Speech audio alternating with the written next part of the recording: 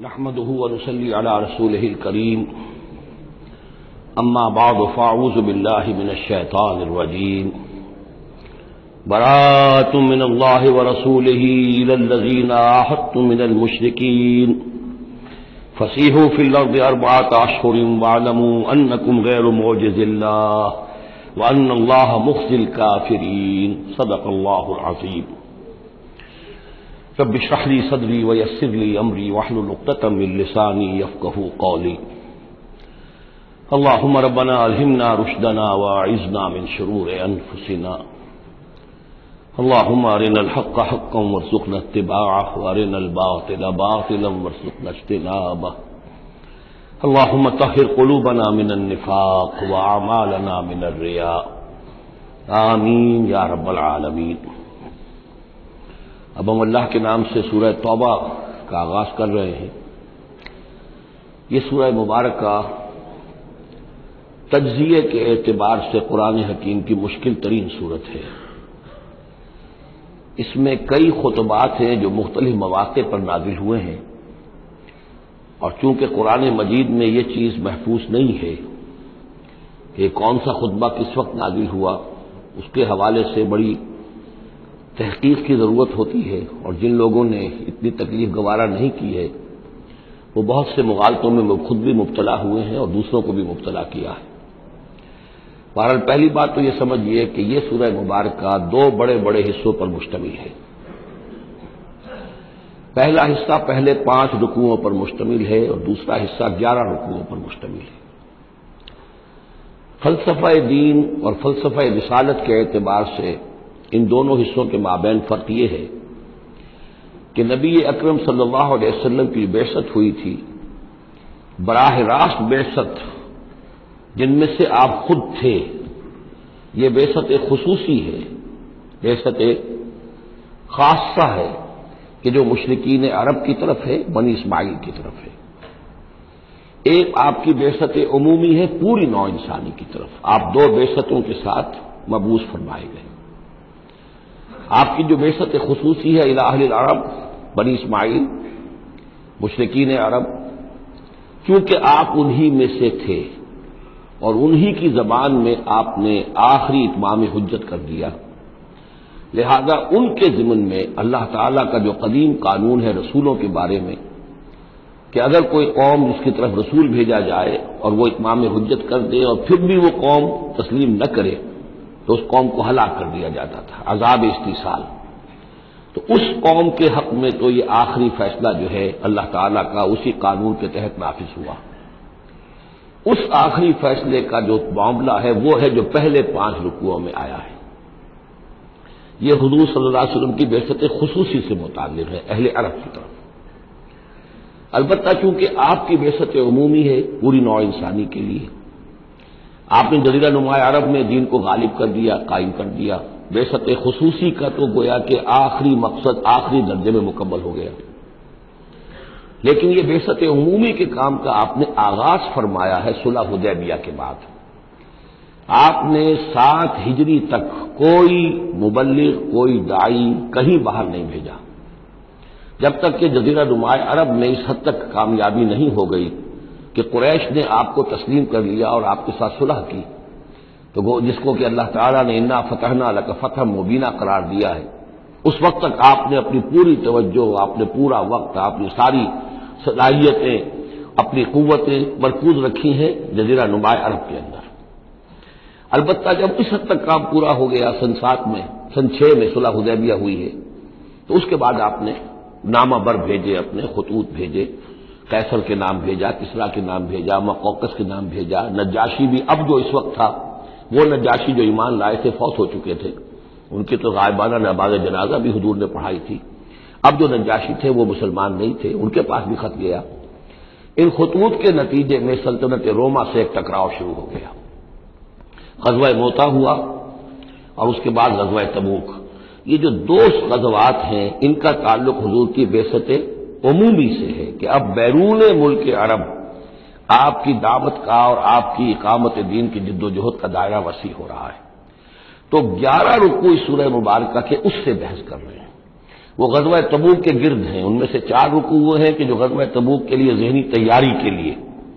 اور اس کے بعد کچھ آیات وہ ہیں کہ جو تبوک جاتے ہوئے اور تبوک سے واپسی پر نازل ہوئی اور کچھ حصہ وہ ہے جو تبوک سے واپس آ کر نازل ہوا۔ وہ تو ہے گیارہ رکو جو چھٹے سے شروع ہو کر سولہویں تک جائیں گے مسلسل۔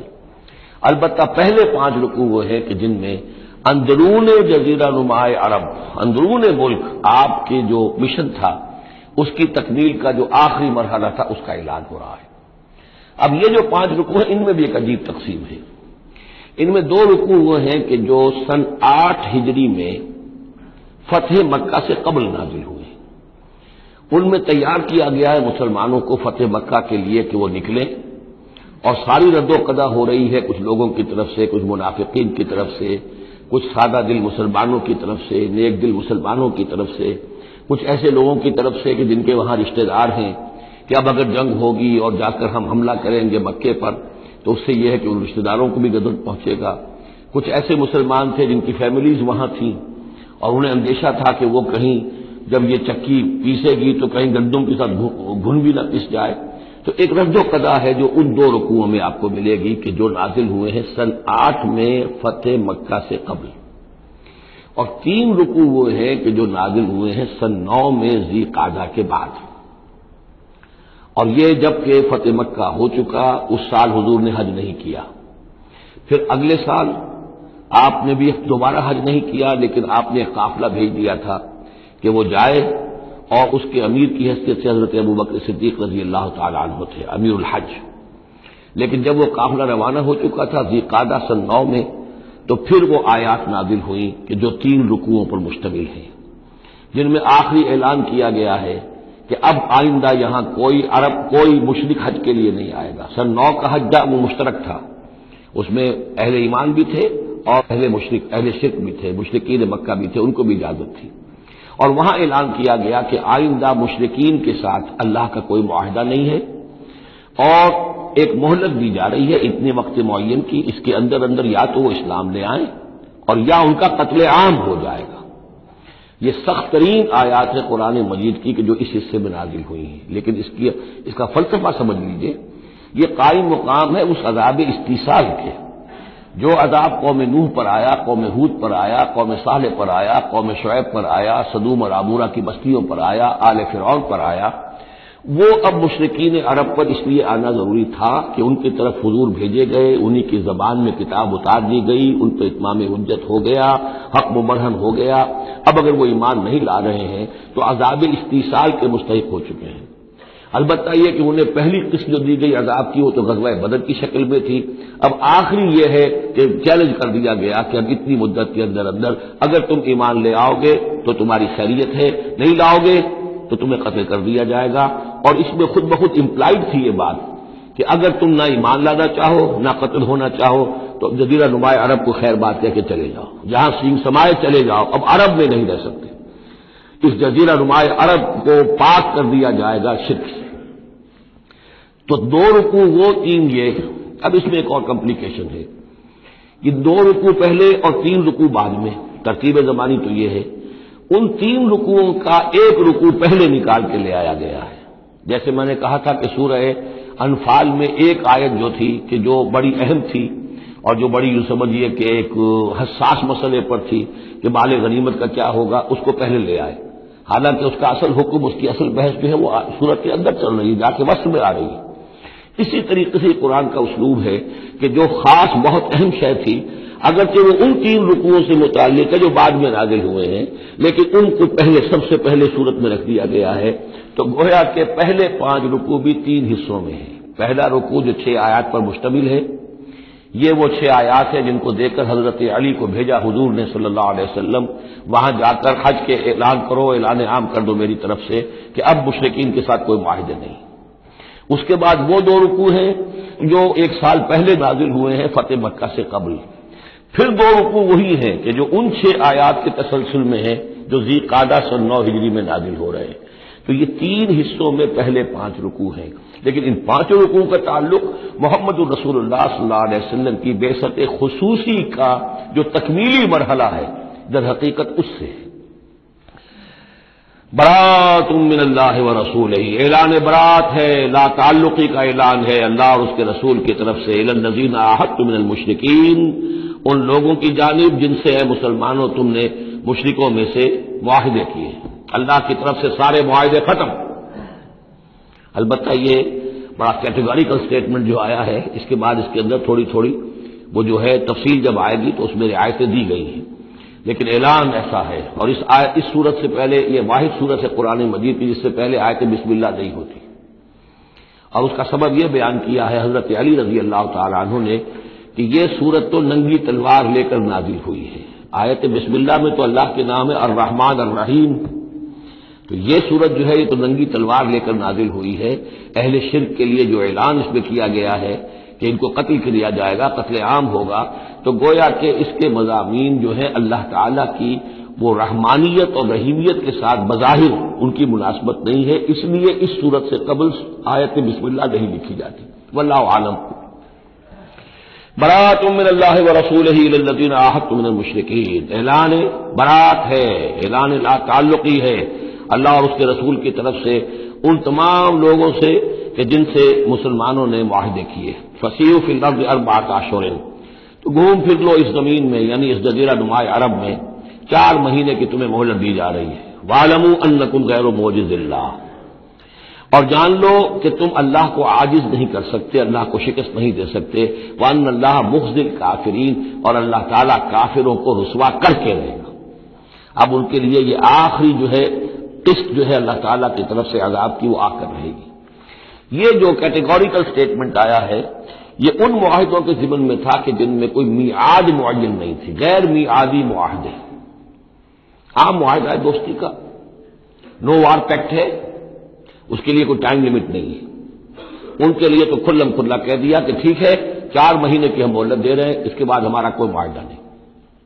اور یہ بالکل معقول بات ہے، اس لیے کہ ایک ہی دن میں نہیں کیا ہے۔ وہ بات بھی ہو گئی کہ معاہدہ پہلے جو ہے ان کی طرف پھینک دیا گیا۔ فمبز علیہ ملا سوا اعلان کیا جا رہا ہے۔ اور پھر ایک دن میں اقدام بھی نہیں ہو رہا، چار مہینے دیے جا رہے ہیں۔ تو یہ ہے معاملہ ان کا جو معاہدے غیر میعادی تھے جن میں کوئی مدت معین نہیں تھی۔ وہ اذان من اللہ و رسول ہی سے یوم الحج اکبر اور اعلان عام ہے اللہ اور اس کے رسول کی طرف سے لوگوں کی جانب حج اکبر کے دن۔ یوم الحج اکبر بڑے حج کے دن۔ بڑے حج سے مراد حج ہے۔ یہ ہمارے ہاں جو عام خیال ہے کہ جمعے کو حج ہو تو حج اکبر ہے، یہ بغیر کسی بنیاد کے ہے۔ اصل میں عمرہ جو ہے وہ حج اصغر ہے اور جو حج ہے وہ حج اکبر ہے۔ عمرہ بھی ایک چھوٹا حج ہے۔ تو وہاں اکبر اور اصغر اس اعتبار سے ہوتے ہیں۔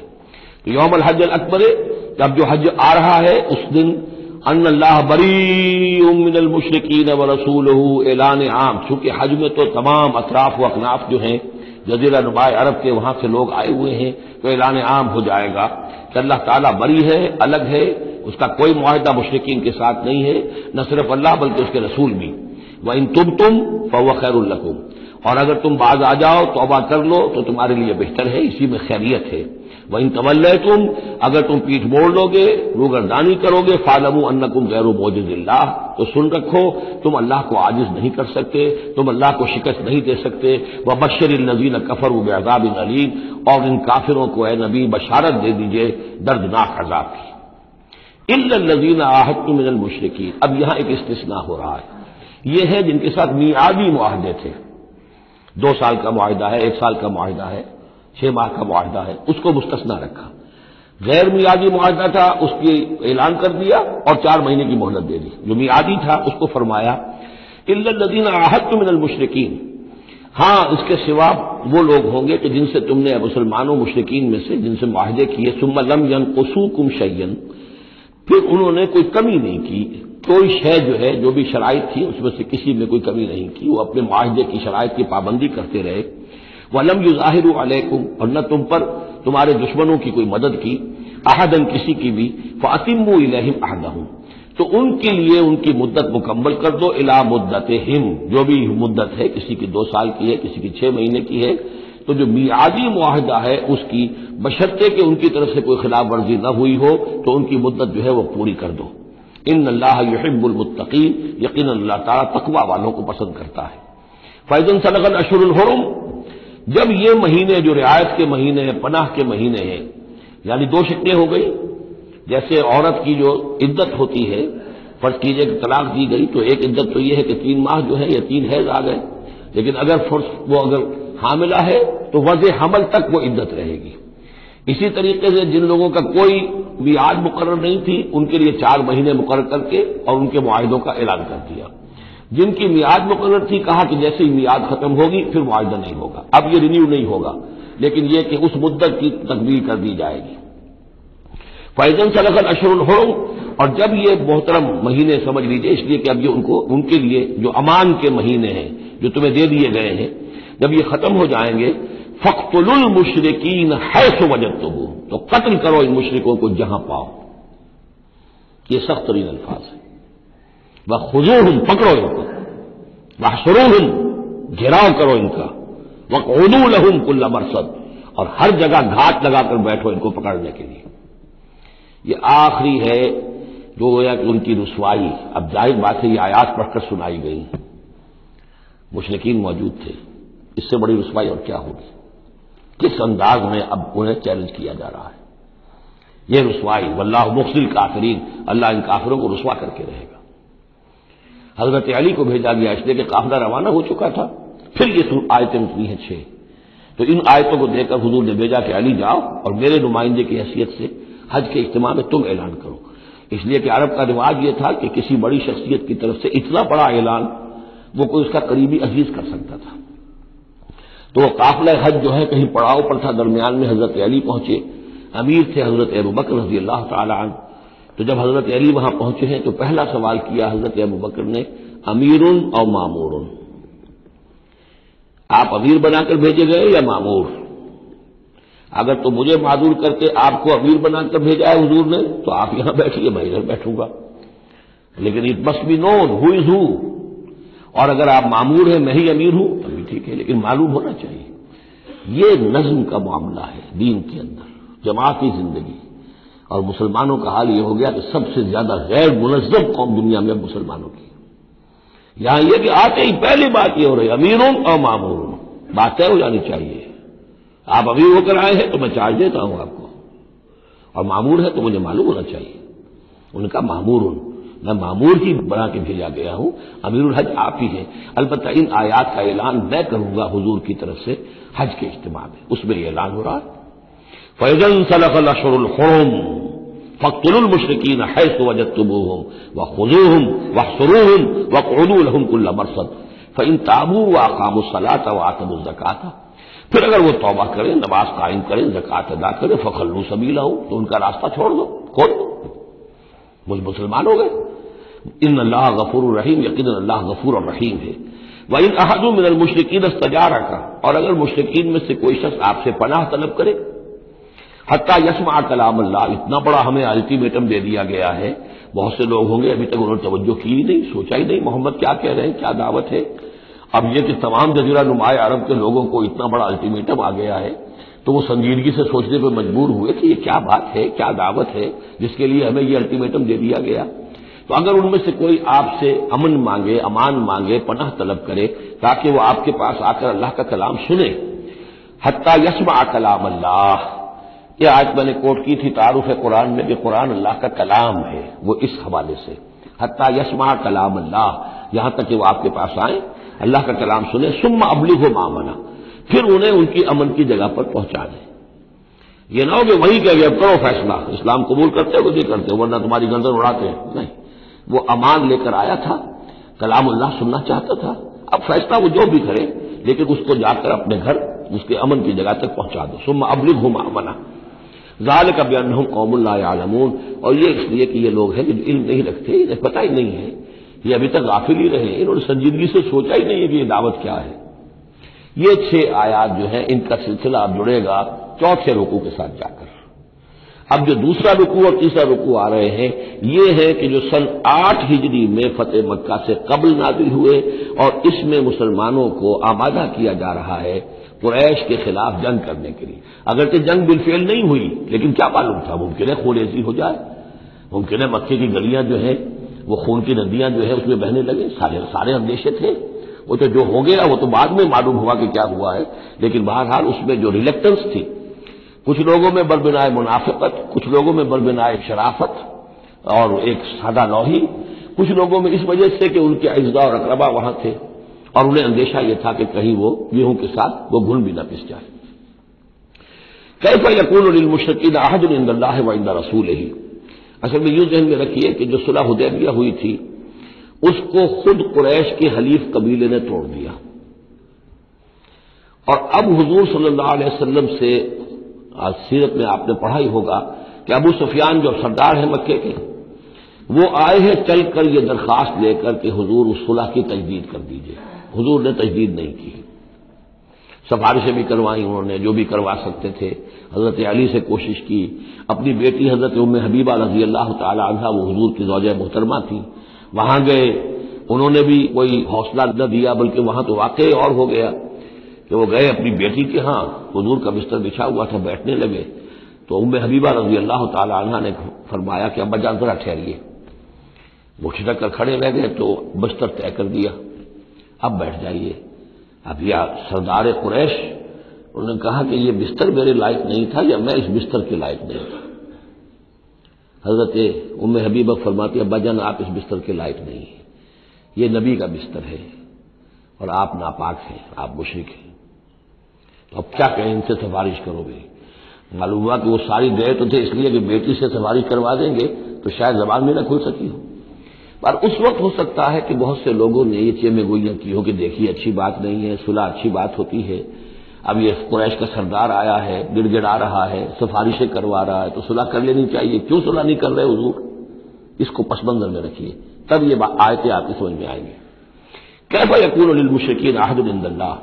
کیسے ہو سکتا ہے مشرقین کے لیے کوئی عہد اللہ کے نزدیک وائندہ رسول ہی اور اس کے رسول کے نزدیک النزین آحد تم ان المسد الحرام؟ سوائے ان کے کہ جن کے ساتھ تم نے معاہدہ کیا تھا مسجد حرام کے پاس صلاح حدیبیہ۔ فمستقام رکھو فستقیم لہو تو جب تک وہ اس پر قائم رہے، سیدھے رہے تمہارے لیے، تم بھی قائم رہو، سیدھے رہو۔ ان اللہ یحب المتقین لیکن اللہ تعالیٰ متقیوں کو پسند کرتا ہے۔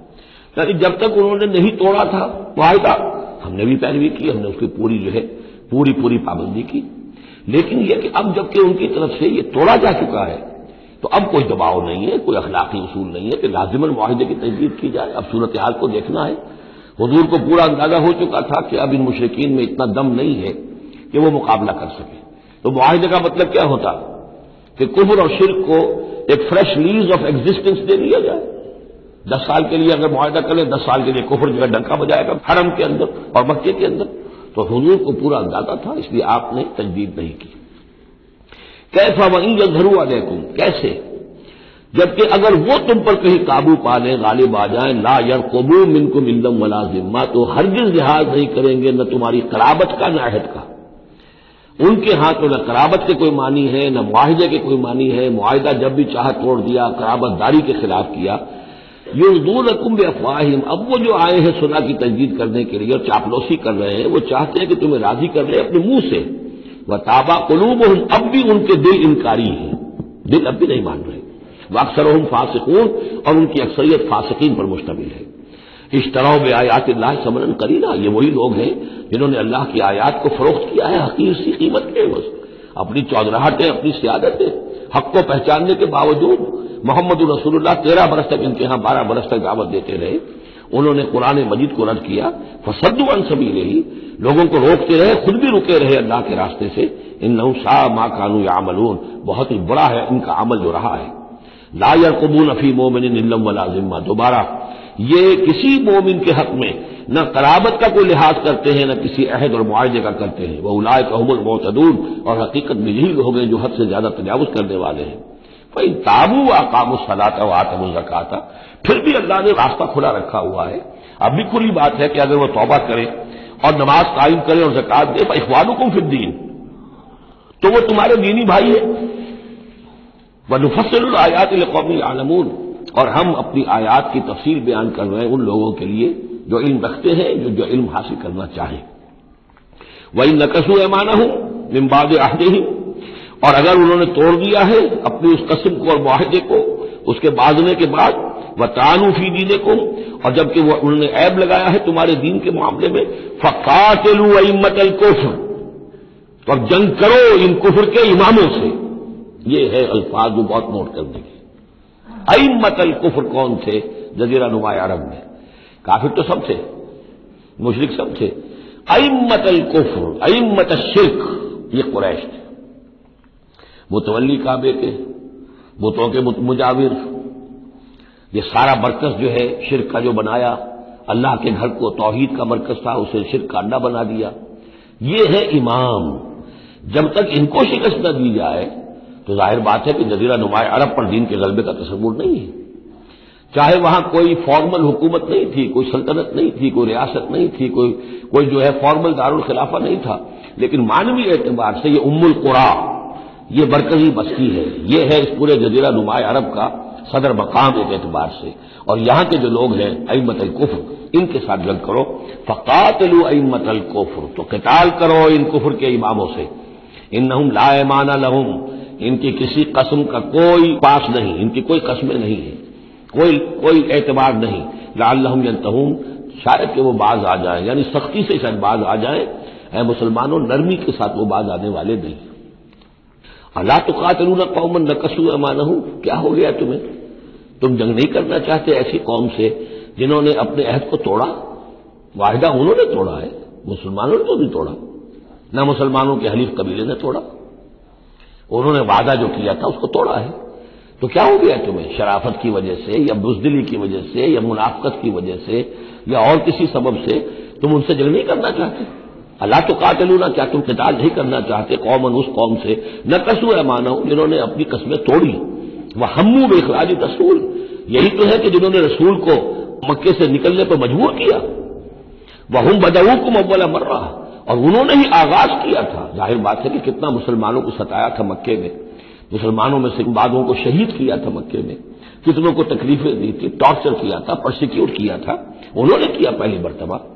اتشون اب دیکھیے، یہ ہے وہ سرچنگ کوشچن اے مسلمانوں، کیا ان سے ڈر رہے ہو؟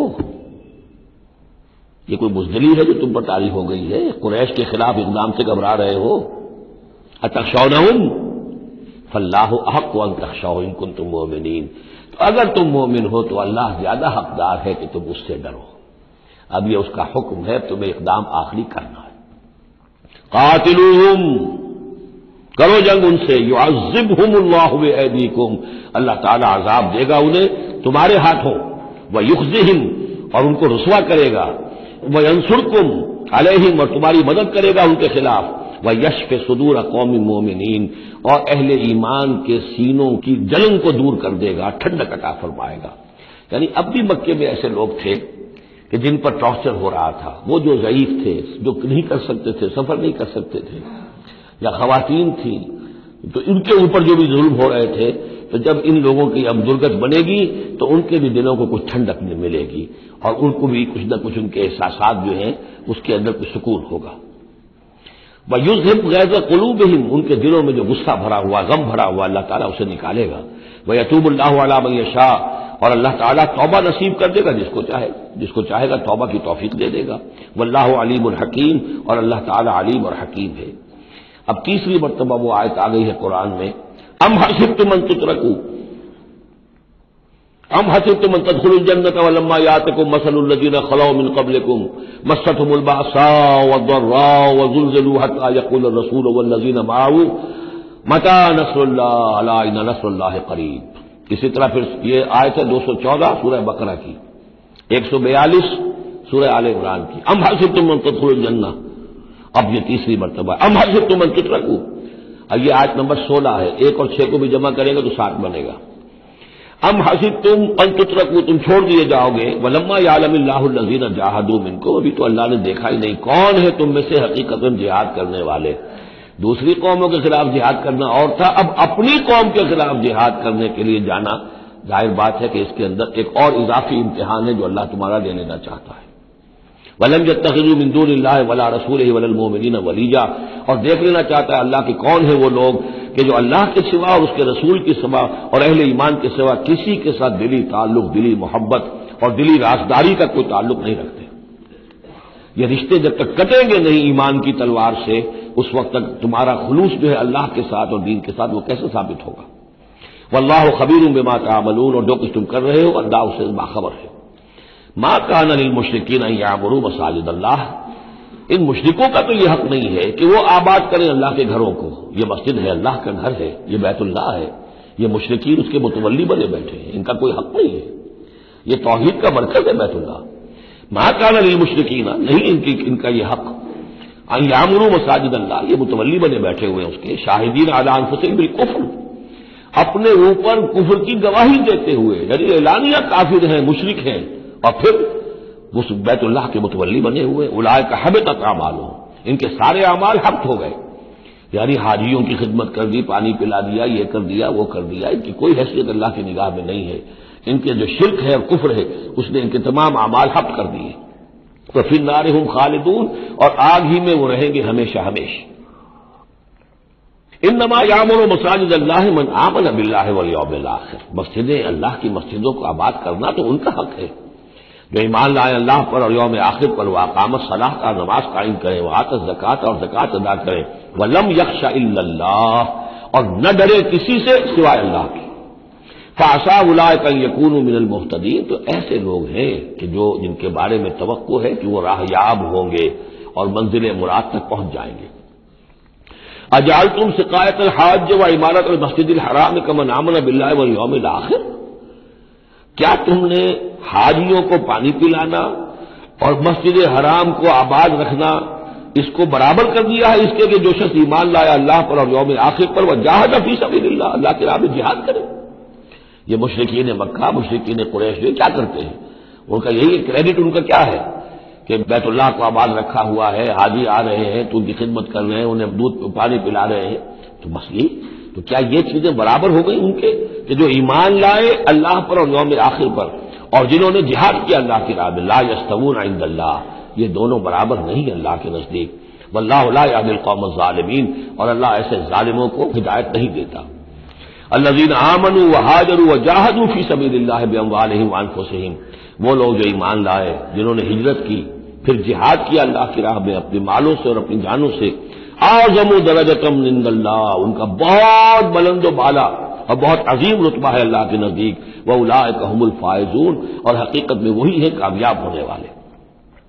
یو بشر رب رحمت امن رضوان انہیں بشارت دیتا ہے ان کا رب۔ اپنی رحمت، خاص اپنے خزانے فضل سے رحمت کی و رضوان اور رضامندی کی۔ و جنات الحم فیحا نعیم و مقیم اور ان باغات کی کہ جن کے اندر بہت ہمیشہ رہنے والی نعمتیں ہوں گی۔ خالدین فیحا ابدا، جن میں وہ رہیں گے ہمیشہ ہمیش۔ ان اللہ عندہ اجر العظیم یقیناً اللہ تعالیٰ ہی کے پاس بہت بڑا اجر ہے۔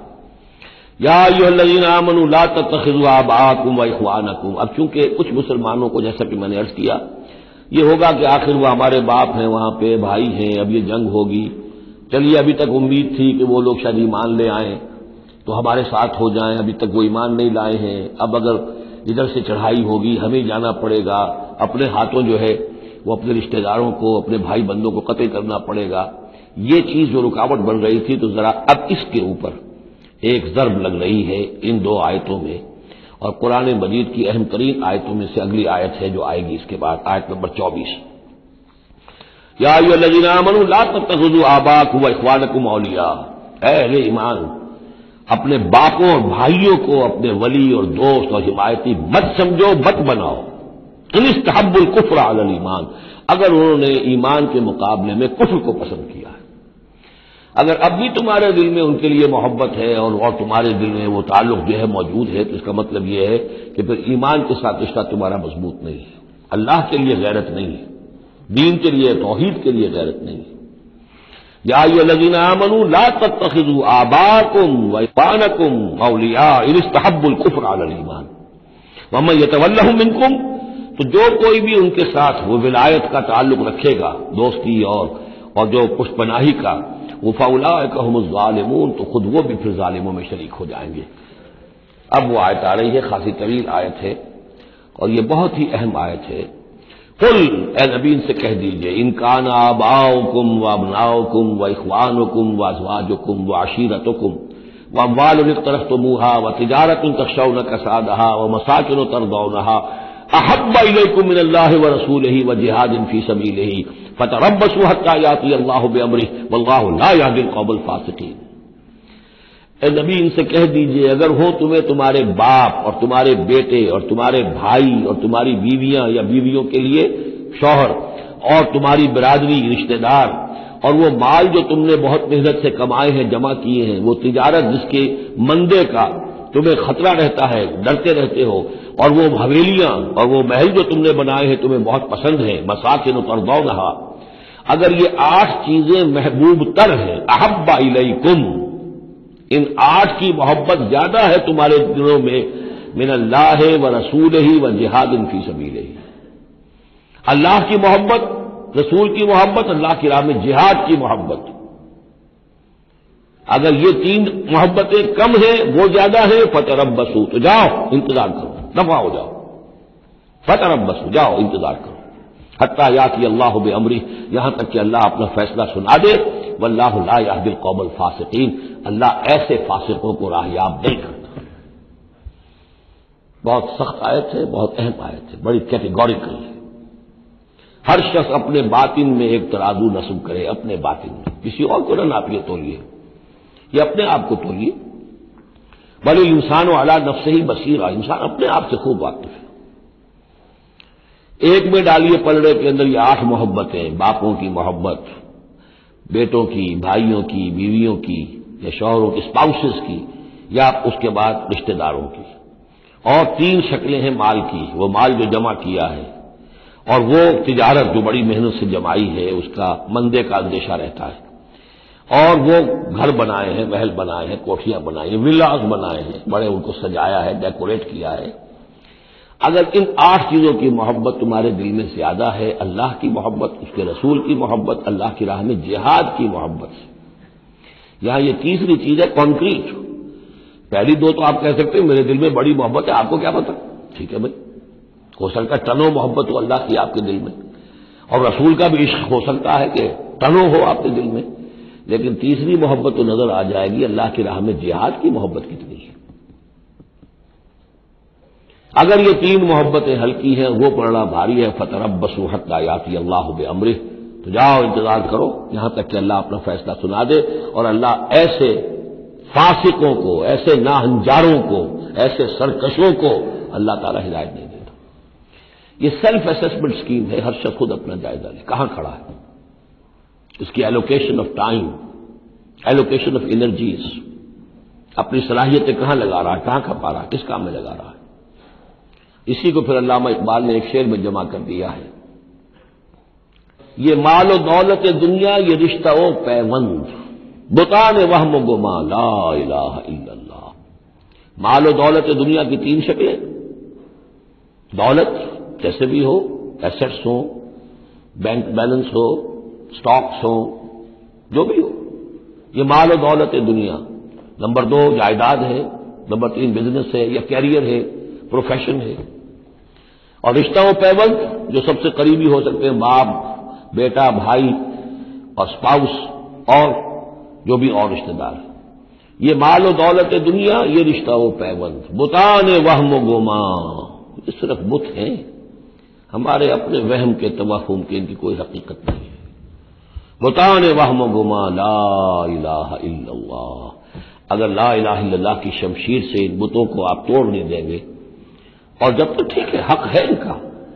بیوی کا حق ہے اولاد کا حق ہے، ان نفس کالیہ کا حق تن، لیکن وہ تابے رہے۔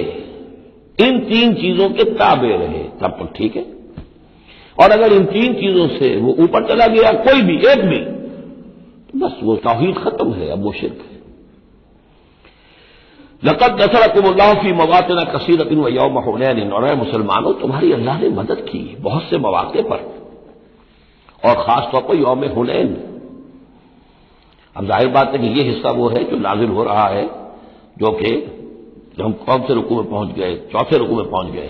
تو چوتھا اور پانچواں پھر وہ ہے جو قادہ سن نو میں نازل ہو رہا ہے۔ تیسرا رکو جہاں ختم ہوا، وہ دو رکو ختم ہو گئے کہ جو جو قریش پر حملے کے ضمن میں اور مکے کی طرف اقدام کے ضمن میں جو ند و قدا ہو رہی تھی اور وہ فتح مکہ سے پہلے نازل ہوئے، سن آٹھ ہجری میں رمضان سے قبل۔ اب یہ پھر وہی سلسلہ جڑ گیا جو چھ آیتیں ہم پہلے پڑھائے ہیں یہ قادہ سے نو ہجری میں جو نازل ہوئی، اسی کے ساتھ۔ اب ظاہر بات ہے کہ اس وقت جو ہے قصبہ ہنین بھی ہو چکا تھا۔ لقد نثر اکم اللہ فی مواد کثیرت، اللہ نے تمہاری مدد کی ہے مسلمانوں بہت سے مواقع پر۔ وہ یوم ہنین ہنین کے دن بھی کی۔ ایک آجبت کم کثرت حکم جبکہ تمہیں اپنی کثرت پر ناز ہو گیا تھا۔ اب یہ بھی یہ نہ سمجھیے کہ سب مسلمانوں کو ہو گیا تھا۔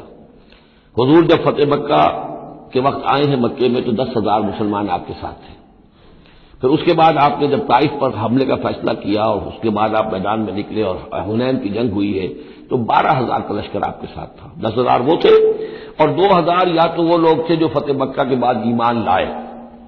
نو مسلم سمجھ لیجیے، اسی وقت جو ایمان لائے۔ اور یا ابھی وہ مشرق ہی تھے، لیکن چونکہ اب وہ رعایا ہو گئے مسلمانوں کی، تو وہ بھی گویا کے شریک تھے اس میں ان کے خادموں اور معاونین کی حیثیت سے۔ بارہ ہزار کا یہ رشتہ جب گزر رہا تھا ایک وادی سے اور اس وادی کے دونوں طرف پہاڑیاں تھیں، تو جو جو تیر انداز تھے اور وہ بہت ہی نشانے والے لوگ تھے، تو انہوں نے مورچے بنا رکھے تھے پہاڑیوں کے اوپر، ان کے اوپر سے تیروں کی بوچھاڑ آئی ہے۔ تو یہ نشیب میں ہے، وادی میں ہے، اوپر سے بیراج آ رہا ہے، اس کے نتیجے میں بھگدڑ بچ گئی۔ بعض روایات میں تو آتا ہے کہ حضور کے ساتھ صرف تیس، چالیس آدمی رہ گئے۔ علامہ شبلی نے یہی لکھا ہے تیس چالیس آدمی رہ گئے۔ لیکن سید سلیمان ندوی نے پھر اپنے استاد سے اختلاف کرتے ہوئے اسی میں سیرت النبی میں نوٹ دیا کہ نہیں، تین سو چار سو آدمی رہ گئے تھے۔ لیکن تین سو چار سو آدمی بھی رہ جائیں بارہ ہزار میں سے تو بھگدڑ بہت بڑی تھی۔ اس وقت پھر حضور خود اپنی سواری سے اترے ہیں، علم اپنے ہاتھ میں لیا ہے رج آپ نے پڑھا ہے۔ الم نبی الب نو عبد المطلب۔ میں نبی ہوں، اس میں کوئی شک نہیں۔ چاہے یہ بارہ ہزار میرا ساتھ دے، تب بھی نبی ہوں۔ کوئی ساتھ نہ دے، تب بھی نبی ہوں۔ اور میں عبد المطلب کا بیٹا یعنی پوتا، میدان میں موجود ہوں۔ اس پر پھر یہ کہ آپ نے لوگوں سے کہا کہ پکارو، الیہ یا عباد اللہ، الیہ یا صاب شجرا الیہ یا صاب البدر، کہاں جا رہے ہو؟ اے بدریوں، کہاں جا رہے ہو؟ تلا حدیبیہ کے وقت جنہوں نے مجھ سے بیعت کی تھی، موت کی۔ بیت رضوان کہاں جا رہے پھر لوگ پلٹے ہیں، پھر فتح ہو گئی۔ اس آجمت کم کثرت کم جبکہ تمہیں اپنی کثرت پر ناز ہو گیا تھا، فلم تو تم نے ان کم شعین تو وہ کثرت تمہیں کچھ نہ بچا سکی، کچھ کام نہ آ سکی تمہارے۔ وضاقت علیہ کم الرد و بیمار رہوبت اور تم پر زمین اپنی پوری فراخی کے باوجود تنگ آ گئی، تنگ پڑ گئی، تنگ ہو گئی۔ سم ولے تم مدبرین اور پھر تم پیچھے پیٹ موڑ کر بھاگے۔ ثم انزل اللہ سکینت والا رسول ہی پھر اللہ نے نازل فرمایا اپنی طرف سے سکون اور تسکین اپنے رسول پر وعد المومنین اور اہل ایمان پر۔ وہ انزلہ جنود الرحا اور اس وقت بھی اللہ نے ایسے لشکر بھی اتارے جنہیں تم نے نہیں دیکھا۔ واضب النزیر کفرو اور عذاب دیا کافروں کو۔ وزال کا اجزاء الکافرین، اور یقیناً یہ کافروں کا بدلہ یہی ہے۔ ثم یتوب اللہ بمباد ذالک علام یشاء پھر اس کے بعد بھی اللہ تعالیٰ توبہ نصیب فرما دے گا، اپنے بندوں میں سے جس کو چاہے گا، اللہ غفور اور رحیم ہے۔ یا ندین امن نمل مشرقور نجسن فلاح یقرب المسد الحرام آباد عام حاضہ اہل ایمان، یہ مشرق ناپاک ہے پلید ہے تو اب یہ اس سال کے بعد مسجد حرام کے قریب نہ پھٹکنے پائے سن نو کا حج جو ہے، کھلا تھا مشرقین کے لیے بھی اور اہل ایمان بھی گئے۔ حضرت ابو بکر کی زیر عمارت قافلہ حج مدینے سے گیا، حضور نہیں گئے۔ اسی میں اعلان یہ بھی کر دیا گیا، اب آئندہ سال سے کوئی مشرق قریب نہیں آ سکے گا، نہ بیت بیت اللہ کے، بیت الحرام کے، نہ حج کے لیے آ سکے۔ گا لا یقرب المسجد الحرام بعد عامہم حاضہ اس سال کے بعد اب وہ قریب نہ پھٹ کے مسجد حرام کی وہ صرف اہلتن اب اندازہ ہوا ہوگا کہ یہ تو آتے تھے لوگ، تو ہماری آمدنی ہوتی تھی۔ حاجی آتے تھے قربانیاں کرتے تھے، کچھ اور نظریں چڑھاتے تھے، چڑھاوے چڑھاتے تھے، تو ہماری آمدنی ہوتی تھی۔ وہ ان خف تم اہلتن اگر تمہیں فقر کا اندیشہ ہو فصوف یغنی کم اللہ بن فضل ہی تو قریب اللہ تعالیٰ تمہیں غنی کر دے گا اپنے فضل سے، انشاء، اگر وہ چاہے گا۔ ان اللہ علیم الحکیم یعنی اتنی آئیں گی غنیمتیں تمہارے پاس کہ تم سے سنبھالی نہیں جائیں گی۔ حضور کے انتقال کے بعد چند سال کے اندر اندر سلطنت فارس اور سلطنت روما اور وہاں سے جو سیلاب آیا ہے مال غنیمت کا، تو حضور نے تو یہی فرمایا تھا کہ مسلمانوں، اس دنیا سے جاتے ہوئے آپ نے فرمایا تھا کہ مجھے تم پر فخر کا اندیشہ نہیں ہے، مجھے تو اندیشہ اب یہ ہے کہ تم پر دولت کے انبار آ جائیں گے تمہارے قدموں میں، اور پھر تم اس دولت کی وجہ سے ایک دوسرے کی گردنیں مارو گے۔ ان اللہ علیم الحکیم. قاتل النجین لا یؤمنون باللہ ولا بالیوم الاخر ولا یحرمون ما حرم اللہ ورسولہ ولا یدینون دین الحق من الذین اوتوا الکتاب حتى یعطوا الجزیۃ عن ید وهم صاغرون. یہ آیت بھی فلسفہ دین کے اعتبار سے بہت اہم ہے۔ جنگ کرو ان لوگوں سے جو نہ ایمان رکھتے ہیں اللہ پر، نہ یوم آخر پر، جو حرام نہیں ٹھہراتے جس کو اللہ اور اس کے رسول نے حرام ٹھہرایا۔ اور نہ قبول کرتے ہیں دین حق کی تابے داری من الزین ابوت الکتاب، ان لوگوں میں سے کہ جن کو کتاب دی گئی تھی۔ حتیٰ یوت الجزیت الدین وحم صابرون یہاں تک کہ وہ اپنے ہاتھ سے جزیہ پیش کریں اور چھوٹے ہو جائیں، نیچے رہے تابے ہو جائیں۔ یہ فرق ہے جو کیا گیا ہے۔ مشرقین عرب کے لیے تو کوئی آپشن نہیں تھا۔ یا ایمان لاؤ یا گردن مار دی جائے گی۔ اس لیے کہ ان میں سے تھے حضور صلی اللہ علیہ وسلم۔ ان پر اقمام حجت بدرجہ آخر ہو گیا۔ لیکن یہ کہ باقی لوگوں کے لیے، نصارہ اور یہود کے لیے بھی اسی کتابیں بقیہ پوری نو انسانی ہے تمام انسان، پھر فارس کے لوگ تھے یا ہندوستان کے لوگ تھے یا اور تھے، ان سب کے لیے قانون یہی رہا ہے۔ کسی کے لیے یہ چیلنج نہیں ہے کہ تم یا ایمان لاؤ یا قتل کر دیے جاؤ گے۔ اس کے بعد کسی کے لیے نہیں۔ یہ خاص وقت تھا اس قوم کے لیے، اس عذاب کا، کہ جس قوم نے ایک رسول کی دعوت کو رد کیا تھا۔ اب اس کے بعد تو رسول ہے بھی نہیں۔ موجود نہیں ہے بنف سے نفیس تو موجود نہیں ہے۔ مانوی طور پر ہے وہ واقع جو ہے، مادی طور پر تو نہیں ہے۔ اس حوالے سے بقیہ پوری نو انسانی کا معاملہ کیا ہے؟ ان کے سامنے یہ ہے کہ قتال ان سے بھی کیا جائے گا، جنگ ان سے بھی کی جائے گی۔ یہاں تک کہ وہ تابع ہو جائیں، اللہ کے دین کی بالادستی کو قبول کر لے لیکن اس کے نیچے وہ یہودی رہیں، وہ مجوسی رہیں، وہ ہندو رہیں، وہ سکھ رہیں، وہ پارسی رہیں، وہ جو بھی چاہے رہیں۔ انڈیویجل کو کسی کو اسلام لانے پہ مجبور نہیں کیا جائے گا۔ اور یہ نہیں ہوگا کہ گردن اڑا دی جائے گی یا اسلام لاؤ۔ وہ معاملہ تھا مشرقین عرب کے لیے۔ یہ جو زمین و آسمان کا فرق اس کو اچھی طرح سمجھ لیجیے یہی وجہ ہے کہ پھر جب دور صحابہ میں اور دور خلافت راستہ میں فوجیں نکلی ہیں صحابہ کی، تو تین آپشنز دیتے تھے وہ۔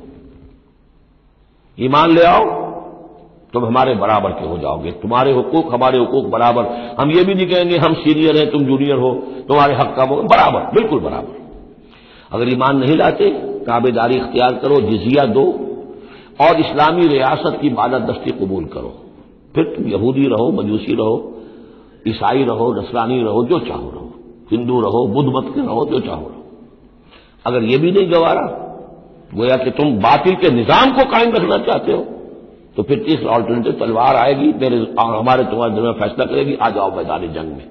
تھری آپشن ان کے لیے مشرقین عرب کے لیے بھی تین آپشن بن گئے تھے تھے دو ہی۔ یا ایمان لاؤ یا قتل کر دیے جاؤ گے۔ تیسرا آپشن یہ تھا کہ جزیرہ نما عرب چھوڑ کر جہاں چاہو بھاگ جاؤ۔ یہاں نہیں رہ سکتے لیکن یہ اس میں امپلائڈ تھا تھا نہیں کلیئر نہیں تھا۔ اسپیلٹ آؤٹ نہیں تھا۔ لیکن ان کے لیے یہ یہ دوسرا آپشن تھا۔ قاتل الزین اللہ بلّہ قتال کرو ان سے جو ایمان نہیں رکھتے اللہ پر۔ نہ یوم آخر پر۔ ولا یو حربون محرم اللہ ہو وہ رسول ہو نہ حرام ٹھہراتے ہیں اور سمجھتے ہیں ان چیزوں کو جو اللہ اور اس کے رسول نے حرام کی ہیں۔ ولا یدین دین الحق، اور نہ دین حق کو قبول کرنے کے لیے اور اس کی تابے داری کرنے کے لیے تیار ہیں۔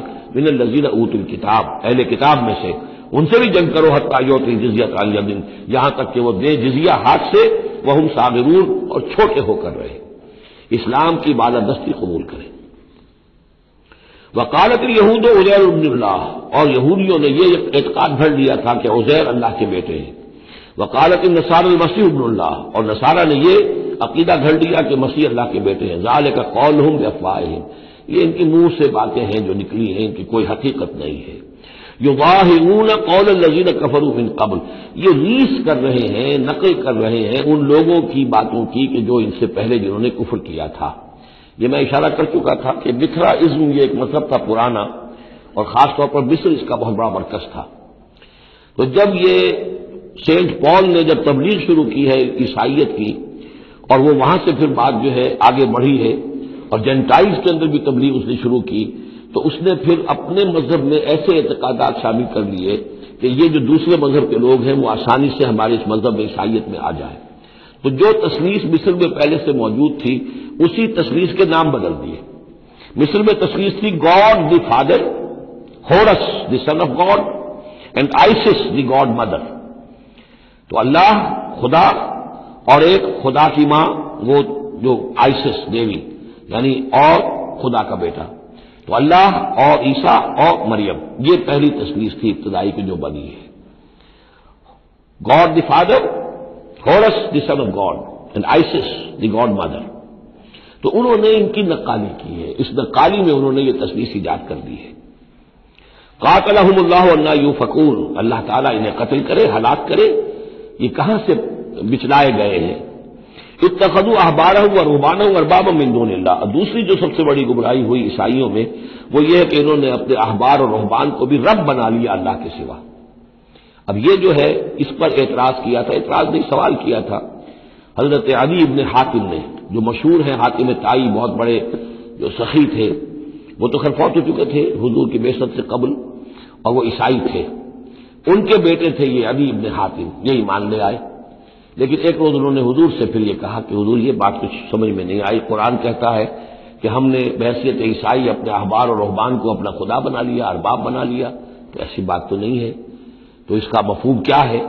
تو آپ نے فرمایا کیا یہ صحیح نہیں ہے کہ جس شے کو وہ حلال کہہ دے تم حلال مان لیتے ہو، جس شے کو وہ حرام کہہ دے تم حرام مان لیتے کہ جی یہ تو ہے، تو یہی تو خدا بنا مان لینا ہے۔ یعنی قانون سازی کا حق اللہ کو حاصل ہے۔ یہاں پوپ صاحب کو پورا اختیار ہے، جو چاہے فیصلہ کر دے۔ تو دو ہزار سال تک تو حضرت مسیح کو سولو دینے کا الزام یہودیوں پر رہا۔ اب آ کر اچانک انہوں نے ایک ڈیکری ایک فرمان کے ذریعے سے بری کر دیا تاریخ کو بدل دیں، حرام کو حلال کر دیں، حلال کو حرام کر دیں۔ یہی ہمارے ہاں بھی ایک پوپ ہوتے ہیں۔ یہ جو ہمارے یہاں اسماعیلی ہیں، ان کا جو امام حاضر ہے، وہ معصوم ہے۔ اور وہ جس چیز کو چاہے حلال کر دے جس چیز کو چاہے حرام کر دے انہوں نے بھی شریعت ثابت کی ہوئی ہے۔ اسماعیلیوں پر شریعت نہیں ہے۔ ایک اسماعیلی وہ ہے جو ہنزا وغیرہ میں رہتے ہیں۔ ان کے یہاں شریعت ہے۔ یہ پرانے اسماعیلی ہیں۔ لیکن باہر سے آ کر یہاں پر آباد ہوئے تھے۔ ایک یہ گجرات کے علاقے میں آ کر جب اسماعیلیوں نے اپنی تبلیغ کی ہے تو انہوں نے وہی کیا جو سینٹ پال نے کیا تھا، شریعت ثابت کر دی۔ اور جو ہندوؤں کا عقیدہ تھا، اس کے اندر نو اوتار تھے، نو اوتار آ چکے ہیں دنیا میں اللہ کے۔ ان کا کہ حضرت علی دسویں اوتار ہیں، دشم اوتار، وہ دشم اوتار ان کے عقیدے میں شامل ہو گیا۔ اور جو ان کا امام حاضر ہے، اسے پورا اختیار حاصل ہے، شریعت کی جس چیز کو چاہے منسوخ کر دے، جو چیز چاہے حرام قرار دے دے، جو چیز چاہے حلال قرار دے دے۔ یہ ہے دین۔ تو اس تخدو احبار ہوں اور رحبان ہوں تو یہ تو گویا کہ خدائی بنا لیا، یہ اختیار تو خدائی ہے۔ ارباب مند اللہ، انہوں نے اللہ کے سوا ان کو بھی رب بنا لیا ہے۔ بل مسیح ابن مریم، اور مسیح ابن مریم کو تو پوچھتے ہیں۔ وما عمر اللہ الہم واحد انہیں نہیں حکم دیا گیا تھا، مگر اس بات کا کہ وہ پوجے صرف ایک الہ کو۔ لا الہ الا ہوا، نہیں ہے کوئی معبود اس کے سوا سبحان ہوا اما یشرکون۔ وہ پاک ہے اس سے کہ جو شرک یہ کر رہے ہیں۔ یرید نور اللہ بے افواہ یہ چاہتے ہیں کہ اللہ کے نور کو بجھا دیں اپنے منہ کی پھونکوں سے۔ ویاب اللہ اللہ یتم نور ولو کرے الکافرون۔ اور اللہ کو ہرگز منظور نہیں ہے مگر یہ کہ وہ اپنے نور کا اتمام فرما کر رہے، چاہے یہ کافروں کو کتنا ہی ناگوار ہو۔ الذي ارسل رسوله بالهدى ودين الحق ليظهره على الدين كله. وہی تو ہے جس نے بھیجا ہے اپنے رسول کو صلی اللہ علیہ وسلم الہدا اور دین حق دے کر، تاکہ غالب کرے اسے کل کے کل دین پر، کل نظام زندگی پر۔ ولو کرے المشرکون خواہ یہ مشرکوں کو کتنا ہی ناگوار کیونکہ یہاں آ کر حضور کے مشن کے آخری درجے میں تکمیل ہو رہی ہے۔ تو یہاں کلیئرلی اب اس کو انشیٹ کر دیا گیا۔ وہ جو میں نے ارض کیا تھا کہ ایک ہے رسالت کا بنیادی مقصد۔ تبشیر ہے انظار ہے، تذکیر ہے، دعوت ہے تبلیغ ہے۔ وہ مانسل المرسلین اللہ مبشرین و منظرین وہ بنیادی مقصد بھی حضور کی بےست کا ہے۔ لیکن حضور کا ایک امتیازی مقصد ہے، تکمیل رسالت کا جو مظہر ہے، وہ ہے کہ دین کو غالب کرنا بالفعل۔ یہ جوڑا جو دو آیتوں کا ہے، یہ بالکل اسی ترتیب کے ساتھ یہ جوڑا سورہ صف میں بھی آیا ہے۔ دوسری آیت تو جو کہ تو ہے، شوشے کا فرق نہیں۔ ہو الزی ارسل رسول بالہدا ودین الحق الدین کل ہی کرے حل مشرقول اس پر تو چوبیس صفحے کا میرا ایک مقالہ ہے جو لکھا ہوا ہے، جو میری کتاب ہے، نبی اکرم صلی اللہ علیہ وسلم کا مقصد بیست صرف اس ایک آیت پر چوبیس صفحے کا مقالہ ہے۔ اور میں مطمئن ہوں، اللہ کا شکر ہے کہ اس آیت کا حق اللہ تعالیٰ نے میرے ذریعے سے پورا کروا دیا ہے۔ اس میں کسی اعتبار سے، اس لیے کہ لوگ اس میں سے اپنے لیے راستے نکالتے چور دروازے یہ تو جی اللہ غالب کرنے والا ہے، کوئی انسان غالب کرنے والے تھوڑا ہی ہیں۔ اور یہ ہے اور وہ ہے اس لیے کہ جو آدمی کام چور ہے، چاہتا ہے کسی طریقے سے کوئی راہ فرار ہو، بھاگنے کا کوئی راستہ مل جائے۔ لیکن آپ اگر اس کو پڑھیں گے تو معلوم ہوگا کوئی راستہ فرار کا نہیں۔ ہے ہر جو بھی ممکن ہو سکتی ہے نحوی اعتبار سے، جو امکان ہو، سب کو میں نے لے کر اور ثابت کر دیا ہے کہ اس میں کہیں فرار کا راستہ نہیں۔ البتہ پہلی آیت میں تھوڑا سا فرق ہے۔ وہ آیت جو ہے وہاں ہے یوریدون لے یوتھ یہاں ہے ان یوتھ بس اتنا فرق ہے۔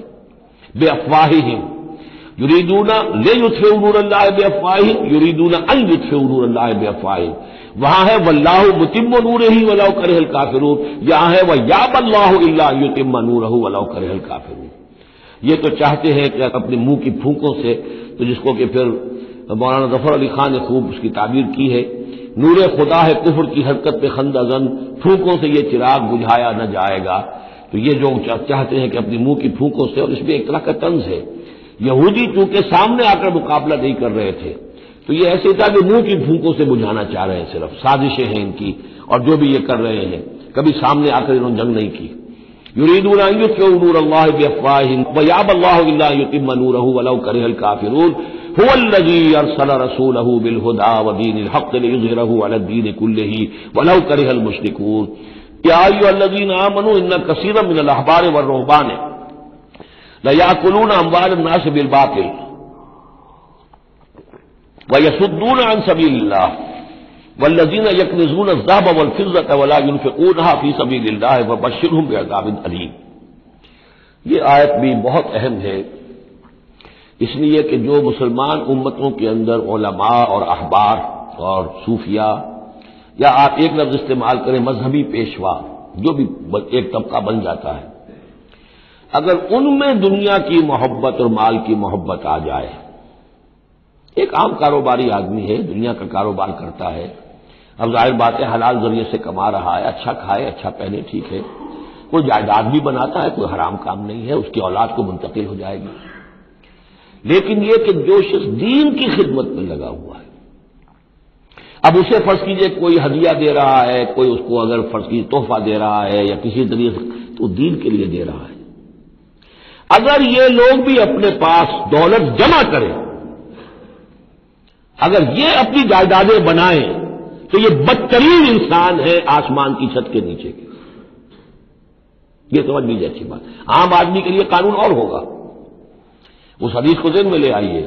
حضور نے فرمایا، یوں سے کوئی یاد کیا اللہ سے زمان مجھے اندیشہ ہے لوگوں پر ایک وقت ایسا آ جائے گا۔ کیسا آ جائے گا؟ لا جب قابل اسلام رسم ہو اسلام میں سے اس کے نام کے سوا کچھ نہیں بچے گا۔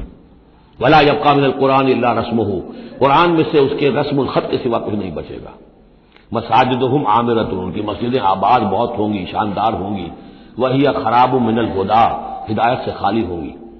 وہ علماء شر النا سے کہتا عظیم السما اور ان کے علماء آسمان کی چھت کے نیچے کے بدترین انسان ہوں گے۔ من ان دہم تخرج الفتنت ہو وہ تعود۔ انہیں میں سے فتنہ برآمد ہوگا انہیں میں گھس جائے گا۔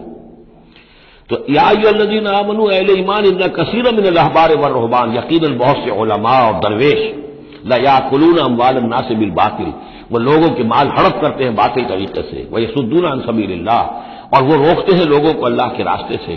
وہ لذین اور کوئی نئی دعوت اٹھی ہے اللہ کا بندہ جو ہے لوگوں کو دین کی طرف بلا رہا ہے۔ یہ اپنی مسندیں جب خطرے میں دیکھتے ہیں تو نہیں چاہیں گے کہ ہمارے عقیدت مند جو ہے وہ کسی بھی ایسی دعوت کی طرف رخ کریں اور متوجہ ہو جائیں۔ ان کی جائیدادیں بن رہی ہیں، بڑے بڑے ایسٹس بنا رہے ہیں۔ جب مرتے ہیں تو چھوڑ کر جائیدادیں جاتے ہیں۔ ان کی اولادوں کے پھر آپس میں مقدمے ہوتے ہیں، جھگڑے ہوتے ہیں۔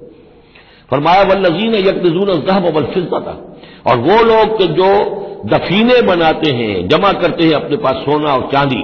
ولا فکون فی سبیل اللہ اور وہ خرچ نہیں کرتے، اس کو اللہ کی راہ میں وہ بشر ہوں گے عذاب علیم تو ان کو بشارت دے دیجیے عذاب علیم کی، دردناک عذاب کی۔ بارک اللہ علی ولکم فی القرآن العظیم۔ و نفالی ویات ملایات و ذکر حکیم